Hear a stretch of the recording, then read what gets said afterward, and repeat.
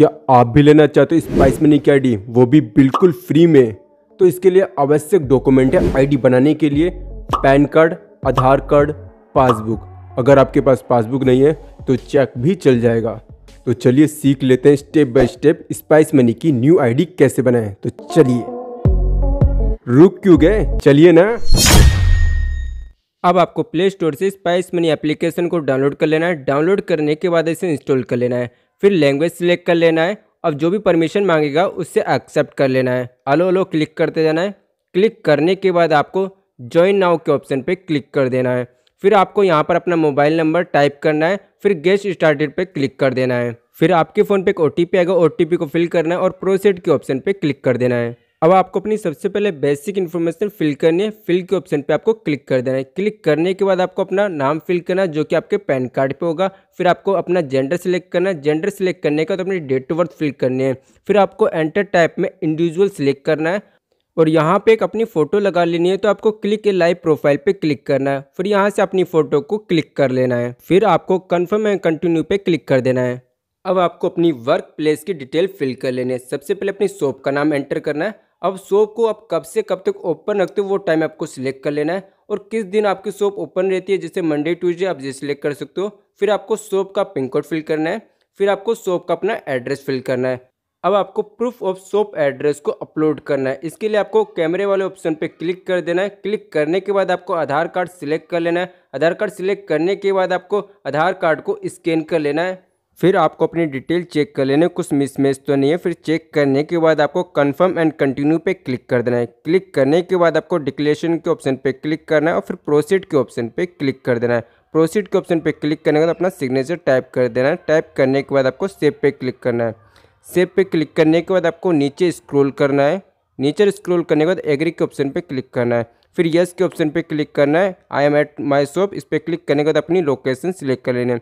Location फिर आपको confirm के ऑप्शन पे क्लिक करना है। कंफर्म के ऑप्शन पे क्लिक करने के बाद आपको डिस्ट्रीब्यूटर मैपिंग के ऑप्शन पे क्लिक करना है। क्लिक करने के बाद अगर आपको डिस्ट्रीब्यूटर का कोड पता है तो यहाँ पे आपको कोड फिल कर देना है। अगर आपको डिस्ट्रीब्यूटर का कोड नहीं पता है तो I don't know any distributor पे क्लिक करना है। क्लिक करने के बाद यहाँ पे आपको डिस्ट्रीब्यूटर का नाम और नंबर दिखाएगा। इस नंबर को आपको कॉपी करके रख लेना है और फिर ओके के ऑप्शन पे क्लिक कर देना है। अब आपको पैन कार्ड को स्कैन करना है तो स्कैन के ऑप्शन पे क्लिक करना है और अपने पैन कार्ड को स्कैन कर लेना है। स्कैन करने के बाद आपको डिटेल चेक कर लेना कुछ मिसमेस तो नहीं है, फिर आपको कन्फर्म एंड कंटिन्यू पे आपको क्लिक कर देना है। अब आपको प्रूफ ऑफ़ एड्रेस को स्कैन करना है तो स्कैन के ऑप्शन पे क्लिक करना है। क्लिक करने के बाद आपको आधार कार्ड सिलेक्ट कर लेना है। सिलेक्ट करने के बाद आपको आधार कार्ड का फ्रंट साइड का फ़ोटो और आधार कार्ड का बैक साइड का फ़ोटो स्कैन कर लेना है। स्कैन करने के बाद आपको डिटेल चेक कर लेना है, कुछ मिसमेच तो नहीं है। चेक करने के बाद आपको कन्फर्म एंड कंटिन्यू के ऑप्शन पर क्लिक कर देना है। अब आपको बैंक डिटेल के ऑप्शन पे क्लिक करना है। क्लिक करने के बाद आपको ऐड बैंक अकाउंट के ऑप्शन पे क्लिक कर देना है। क्लिक करने के बाद आपको अपना बैंक अकाउंट सिलेक्ट कर लेना है। सिलेक्ट करने के बाद आपको यहाँ पर अपना अकाउंट नंबर फिल करना है आईएफसी कोड फिल करना है। फिल करने के बाद आपको अकाउंट टाइप सिलेक्ट करना है, आपका सेविंग अकाउंट है या करंट अकाउंट है। सिलेक्ट करने के बाद आपको कन्फर्म एंड कंटिन्यू के ऑप्शन पे क्लिक कर देना है।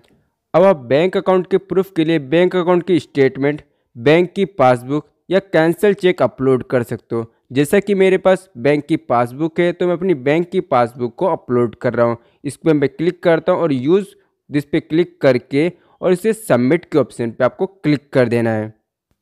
अब आपको अदर डिटेल पे क्लिक करना है। क्लिक करने के बाद आपको सिलेक्ट करना है what is is current nature of business को सिलेक्ट कर लेना है। आपकी किस टाइप की शॉप है आपको सिलेक्ट कर लेना है। जैसे हमारा कंप्यूटर और साइबर कैफ़े की है तो हम इसे सिलेक्ट कर ले लें सिलेक्ट करने के बाद आपको अब आपको डेली की ट्रांजेक्शन सिलेक्ट कर लेनी है। आपकी डेली की ट्रांजेक्शन कितनी है? आपकी पाँच लाख या पाँच लाख से ज़्यादा आपको सिलेक्ट कर लेना है। सिलेक्ट करने के बाद आपको तीसरे ऑप्शन में सिलेक्ट करना है। नो के ऑप्शन पर क्लिक कर देना है।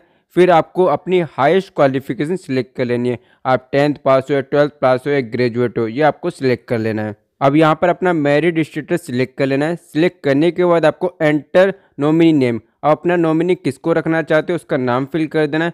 फिल करने के बाद आपको यहाँ पर उसका रिलेशन क्या है, आपको ये सिलेक्ट कर लेना है। सिलेक्ट करने के बाद आपको कन्फर्म एंड कंटिन्यू के ऑप्शन पे क्लिक कर देना है। अब आपको सबमिट के ऑप्शन पे क्लिक करना है। जैसे आप सबमिट के ऑप्शन पे क्लिक करोगे तो आपकी जो एप्लीकेशन है अप्रूवल के लिए भेज देंगे। आपकी शॉप पे डिस्ट्रीब्यूटर विज़िट करेगा और आपकी फ़िज़िकल वेरिफिकेशन करेगा। फ़िज़िकल वेरिफिकेशन कंप्लीट होने के बाद, उसके बाद आपका आईडी और पासवर्ड आपके मोबाइल पर आ जाएगा। अगर आपको ये वीडियो पसंद है तो वीडियो को कर दीजिए लाइक चैनल को कर दीजिए सब्सक्राइब और वीडियो से रिलेटेड कुछ भी डाउट्स है तो आप मुझे डायरेक्ट कॉल कर सकते हो या इंस्टाग्राम पे मुझे डायरेक्ट मैसेज कर सकते हो। तो चलिए मिलते हैं इसी प्रकार की नेक्स्ट वीडियो में। जब तक के लिए टेक केयर बाय बाय